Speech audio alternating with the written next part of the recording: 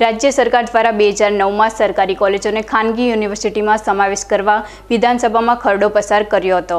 ત્યારે સમગ્ર ગુજરાતમાં સરકારી કોલેજના અધ્યાપકો દ્વારા વિરોધ કરવામાં આવતા તત્કાલીન મુખ્યમંત્રી નરેન્દ્રભાઈ મોદી દ્વારા બે હજાર અગિયારમાં ખરડાને પરત લીધેલ ત્યારબાદ રાજ્ય સરકાર દ્વારા ફરી બે હજાર એકવીસમાં વિધાનસભામાં સરકારી કોલેજોને ખાનગીકરણ કરવાનો ખરડો પસાર કરતા આજે સમગ્ર ગુજરાતમાં જુદા જુદા સંગઠનોના અધ્યાપકો દ્વારા વિરોધ કરી રહ્યા છે. ત્યારે Deesa DNP, arts and commerce college ખાતે આજે તમામ અધ્યાપકો દ્વારા પણ વિરોધ કરવામાં આવ્યો હતો.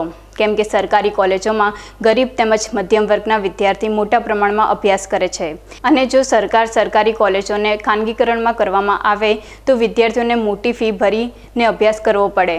તેમજ વિદ્યાર્થીઓને અભ્યાસમાં ભારે મુશ્કેલી પડી શકે તેમ છે.